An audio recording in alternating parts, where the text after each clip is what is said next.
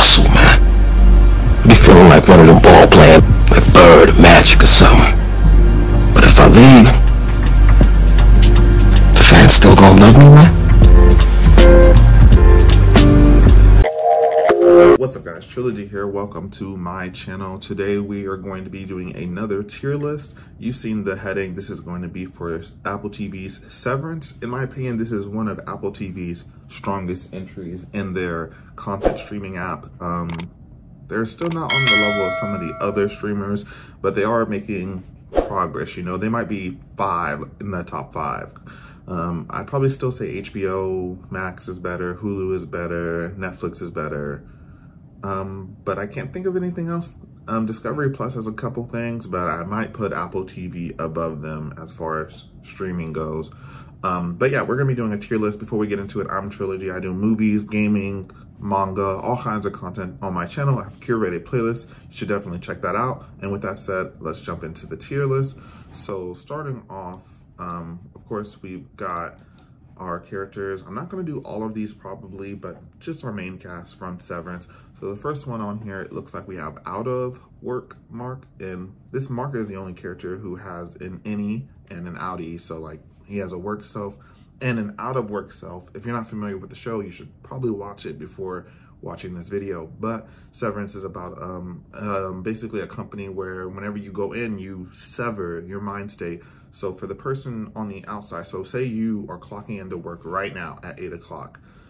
As soon as you realize it, it'll be five o'clock when you get off or 501 and you're walking out of the building. Meanwhile, those eight hour, nine hours are controlled by your work self who does all the work and basically lives at work because they don't get to go out. But it's all you. You're like split into two personalities.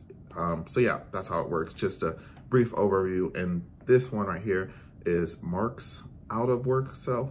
And for him, I wasn't a big fan of out of work Mark. He was all right. He wasn't a bad character. He just wasn't interesting as compared to some of the other characters, despite him being the main character and our perspective for the show was being filtered through him. I just didn't really like out of work Mark too much. So I think I'm gonna put him in B tier. Like I said, not a horrible character, but he didn't do too much. Honestly, I might even go C tier, honestly. Like, I know he lost his wife. That's why he signed up for the job. He met his old best friend, Petey, but I just feel like he didn't do a lot. He was more of a passive character in the show. I know this is probably an unpopular opinion, but I'm going to put him on B tier. Up next, we have Helly, which was the newest hire in um, basically the company. I forget the name of the company, um, but um, she basically is the replacement for Petey, who got fired or quit, basically. Um, and I like Helly a lot. Like she is very interesting um, because she just kind of is the drama of the show. Like she doesn't want to work there. She tries to escape. She tries to kill herself. She tries to maim herself. And the the plot twist at the very end in the final episode, if you haven't watched it, I you should probably watch that. But the fact that she's like the founder's daughter and she's like a really important person is pretty crazy. Um, so I really like her. I really don't have any complaints about her. Like, I don't think she's a perfect character, which is what the S tier is reserved for. So I'm gonna put her in very high A tier. Like, I really enjoy every scene with her. She's very interesting. Um, and she just brings the comedy and the drama at the same time, all in one character on the show. Um, up next, um, we have the boss. She's all right. I'm not going to speak too much on her because she's not really a super main character. She doesn't do a lot, but I she is unsevered, which is cool because, you know, she has two different personalities. So, um, she only has one personality. I'm sorry. So she's cool because she goes to work, but she's unsevered. So she does she sees Mark inside work and outside work, and she has like two different accents. And I think that adds a little a little bit of a layer to her character. So I'm gonna throw her in C tier. Um, yeah.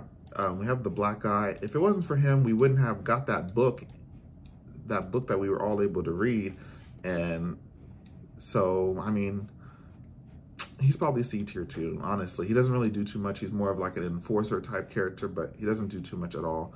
Um, now, we have the therapist character. I forget her name, but I think she was really interesting, especially the plot twist at the end where it turns out that she's actually Mark's wife. And like, what's going on here? Like, Like, I, honestly, it doesn't make too much sense to me, but hopefully they elaborate in season two because his wife supposedly died. She didn't go missing, so I don't know, but I really did like her interactions. Um, she wasn't as good as Helly, but I'm gonna put her in B tier. This is gonna be our first B tier edition.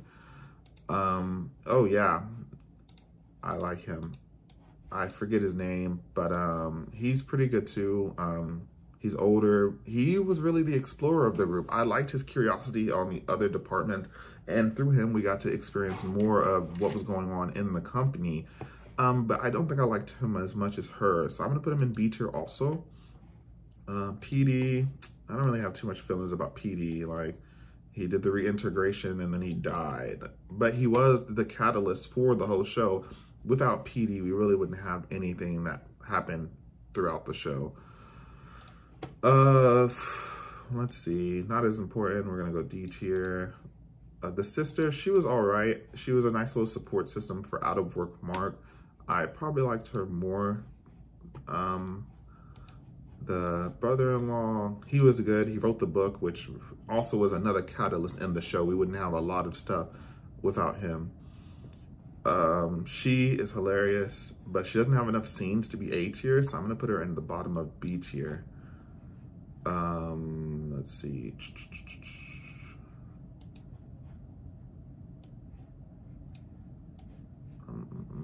Well, let's go. Let's go C tier for her. They really made this guy be super scary, but ultimately he didn't do too much. Like, I feel like he was all bark, no bite. But the way they built him up was still really interesting. So I'm gonna probably put him, let's rearrange this real quick. Uh, let's put her down here. Yeah, that's how I'm gonna leave it. We have Workmark, which Workmark is an S tier character. So many layers to him. This guy is amazing. I really enjoyed seeing things through his perspective and how he tried to keep the department together, basically. Um, finally, we have the comedic relief of the whole show.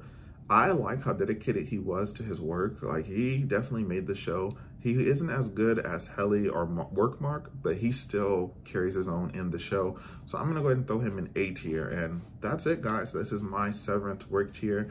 Um, let me make sure I don't want to change anything. Yeah, I do feel like this is an outlier opinion for Out of Work Mark. Him being in C tier, I feel like most people would probably put him A tier or B tier. Probably still not S tier but I just didn't really mess with him. But work mark, I really did mess with, which is crazy. Good acting for um, Adam Scott. Is that his name? I forget actor names so often. Um, but yeah, that's it, guys. Thanks for tuning in. This is my Severance tier list. If you want to see more content like this, definitely recommend you subscribe. Thanks for tuning in, and I'll catch you guys next time. Peace. I love the hustle, man. I be feeling like one of them ball playing, like Bird, Magic, or something. But if I leave, fans still gonna love me, man?